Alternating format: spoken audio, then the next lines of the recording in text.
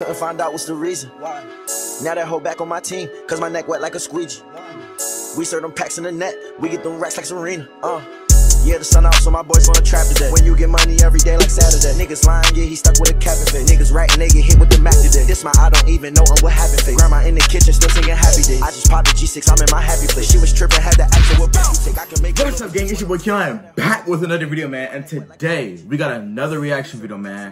But this time we're not gonna be reacting, reacting to no basketball or nothing like that. It's top 10 scariest insects that live in your nightmares.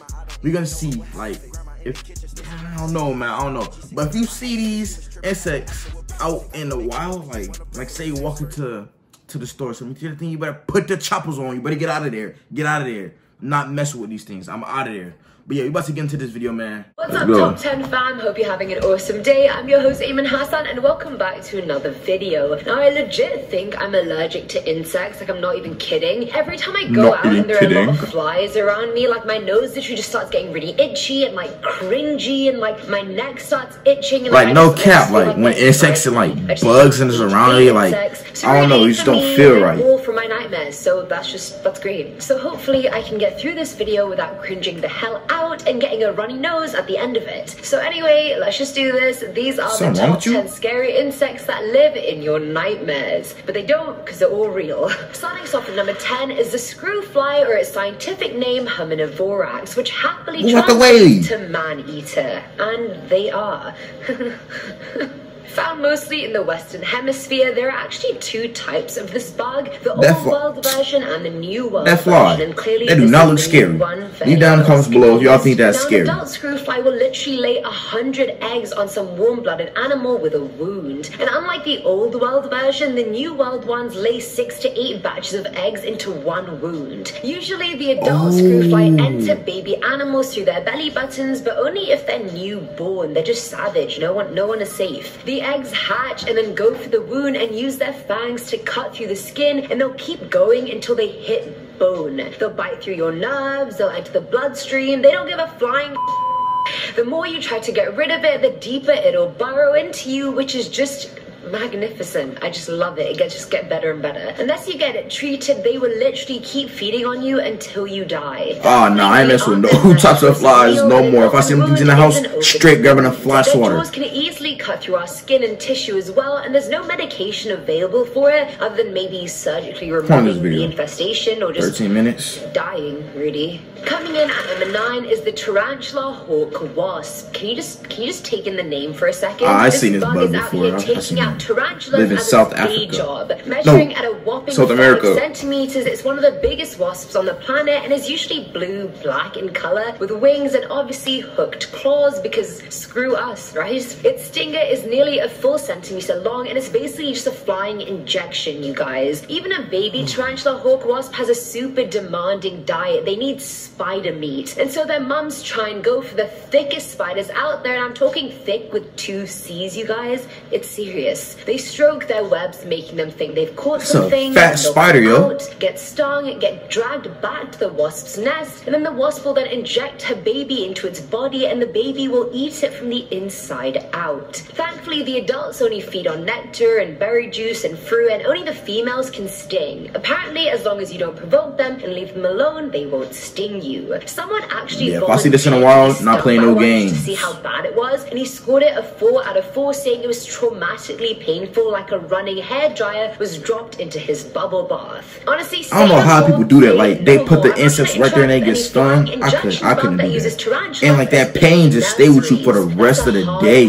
Like, who does stuff like that for a living? No, I mean, no, no, no, I couldn't no. That was me karate chopping all the tarantula hawk wasps away, just in case you didn't know what that was. At number eight, we have the assassin bug or the kissing bug, and kiss it definitely does not, unless you're talking about the kiss of death. Now, oh my god, just looks wise, this insect is ugly. I'm sorry, but it is. It has six legs, Make it's got a round outside and two antennas, and is covered in just hairy fuzz. Not as much as a tarantula, but kind of the same vibe, and it also has this like snout sort of thing on its face, like a mosquito, you know, like a sucker of some kind. The assassin bug uses its straw-like mouth to inject its prey with a toxin that literally liquefies their insides, and then it sucks up all those liquefied organs and just enjoys it shamelessly. They're mostly found in the south of the US and they definitely bite. They linger near their prey, mostly mammals, and yes, that unfortunately includes us as well. They like to oh, no. our mouth and eyes, and that can cause us to have a lot of redness and swelling. And its feces can also spread a parasite that causes Chagas disease, which damages your major organs and could kill you.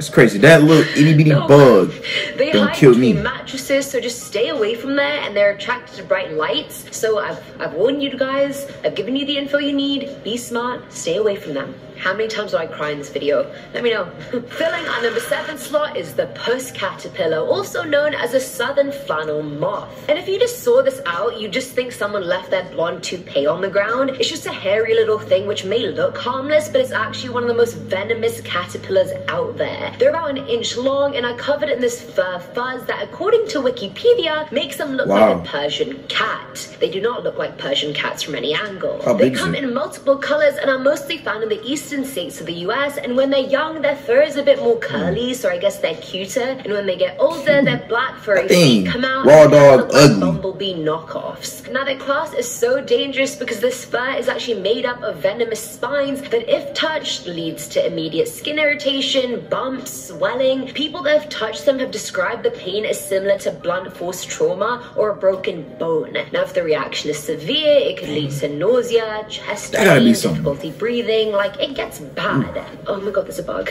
But the treatment is actually pretty funny. Within an hour of touching a puss caterpillar, if you have any of its spines on you, you can remove Damn, them by just touching it? and putting on your arm and just ripping it off. DIY remedies. Now, at number six is the tsetse fly, also known as tick tick flies. These flies bite like a mofo and are mostly found in Africa. Looks wise, they're hmm. usually brown or yellow. Africa got a lot of things bellies, and they over there, yo. Look like shorter, stubbier mosquitoes, and like mosquitoes, they suck out your blood, but in a much more brutal way than a mosquito. Their mouths have tiny serrations all over it that they use to saw into your skin. But it's not just the sucking blood part that sucks about them, pun intended, didn't even realize. They're pesky creatures because they transmit diseases really easily, and the most common one being the sleeping sickness. It starts off with a bit of a headache, then a fever, your muscles start to ache, but as it gets worse, you'll start getting more tired. You'll experience a sudden personality change, your coordination will become poor, and you'll just be severely confused. And if you leave it untreated, it's fatal. In terms of prey, they usually target mammals found in the woodlands. The females stick to animals, but it's actually the males that usually attack humans. And sadly, despite being flies, they're not as easy to kill as house flies are. Like why? So you can't hit that thing with a They're physically tough, and it takes more than a fly swatter to end those hoes. We're gonna need an army, guys. We're gonna need an army. Coming in at number five is the Amazonian giant centipede. Oh, no. You see this right here?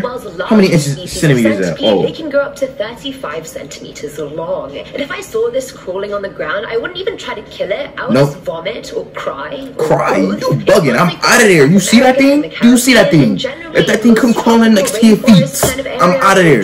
You can't tell me otherwise. That thing is killing a lizard, yo. They can Killing the lizard. usually eats other smaller insects, No. spiders, small reptiles like frogs or lizards, and at best, snakes and bats. Now, these centipedes sort of have conflicting personality traits. On the one hand, they're aggressive, and on the other hand, they're nervous. So, what that translates to is the centipede latching onto its predator's legs and biting it and hoping its venom will subdue or kill it. Now, it's fatal to most small animals and thankfully non lethal to humans. A win oh, for us, you guys. Only one Still not messing with it. Still not messing with it. centipede bite, and they were four years old, so I feel like the fact they were small had a part to play in it. And although it may know. kill you, it still causes severe pain and swelling, fever, and just all around weakness. And of course, if you're allergic to its toxins, then yeah, you're a goner for sure. Sorry about that. Allergies are a bummer. At number four is the bullet ant. Now, if you were to guess Well, I heard which insect has the most those. painful sting in the world, and you guessed the bullet ant, well, you'd be right.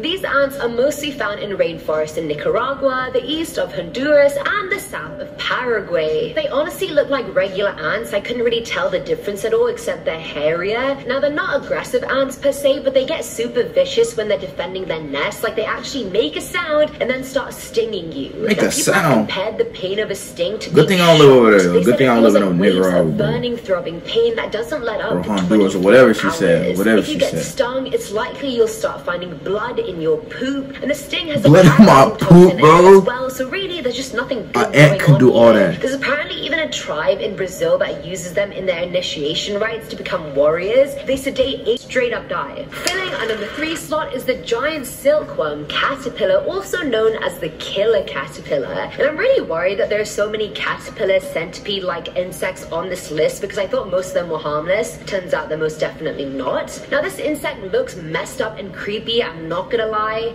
It's just ugly, I'm sorry. Looks is wise, they're ugly. around four to five centimeters Thing like a leaf on a ground. green or brown. A confetti leaf. A confetti are leaf. They have coming out of them. They look like little leaves coming out of them and they are detachable. In essence, the caterpillar is really just the larva of a giant silkworm moth and it's their detachable hairs that make them super venomous. If you touch one or pick one up, the spine punches your skin really easily and releases its toxins into you. From there, it can cause blood That's crazy how all these little and itty-bitty insects can kill you and damage you in any type of way, you know? them, which is just That's wild. It also causes gangrene, hematoma, and before long, Hematoma? the internal bleeding spreads throughout your whole body, which leads to brain death and compression. A total of So that little itty-bitty people bug, died from if that touching thing and touch you, you need dead, 20 gone. to 100 of these spines injected Right you will. into you for you to actually die. So I guess the numbers are a bit on our side. And if you don't live in the area they're found in, then then you're good. Like if you're all the way in like Australia, you're good. But they have spiders. Now, number two is the Asian giant hornet. Now, if you've watched my wasp nests that need to be destroyed series, then you've heard about these a million times. But oh my god, these little monsters are just lethal. Now they're the largest species of hornet in the world, and although they're found here, throughout Asia, they're mostly located in. Japan. And you know how with most animals and bugs, they won't really say anything to you unless you provoke them? Well, that's not the case here. They will literally come for you. They're very Wow. aggressive. They're scared of literally nothing. They feed honeybees to their young, which means destroying whole hives in the process, which they're just fine with. If we do the numbers, one Asian giant hornet can tear 40 honeybees in half in less than a minute. Less than a minute, you guys. That is I'm getting anxiety. There was a case where a swarm things violent, attacked yo. Them 87 things get the job done. grandma in a wheelchair, They play no games. They want all the smoke. All the smoke. and then she died. Like the Japanese death toll from these hornets are 40 people a year, and back in 2013 they injured 1,600 people in China. The stings usually Hmm. result in cardiac arrest, but if they sting you enough times, your organs just start failing, and it's it's it's not a good time, I'd imagine. And finally, at number one is the Maricopa harvester. ant. Alright, let's see what this thing can do like, it's why number one. an ant at number one. I thought it was gonna be like some kind of spider or something. the most venomous insect in the world. It's mostly found in Arizona, so like a billy goat. Arizona residents. I'm glad I'm not one of them. its venom and sting is more than 20 times stronger than a honeybee's, and the intense pain Hmm. after can last longer than four to eight hours. The one interesting thing about their venom is that it contains this alkaloid poison that chemically alarms just all the other ants around in the vicinity to come attack. It takes Wow, so things sting stings to you. kill a rat, and it A take about whole 350 hive, a to whole- kill whole human, nest coming for your neck a lot, bones. but If they're Coming for your coming neck at you like an army, they can get to that number pretty damn quickly. And it's not even that 350 ants have to separately sting you. An ant will attach itself to you, then turn around so it can just repeatedly sting the shit out of you. So really, the possibility of like a mere 35 ants stinging you 10 times each looks very viable. They're usually a brownish color and are covered in tiny little hair-like follicles, and those pincer mouths they have.